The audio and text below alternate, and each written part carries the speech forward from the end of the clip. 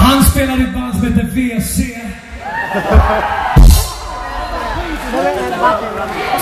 Och eh, vi bestämde oss för att starta ett band tillsammans den natten. Vi kallade bandet för Force. Sedan dess har han varit min broder och vapendragare. Det är mannen med den gyllene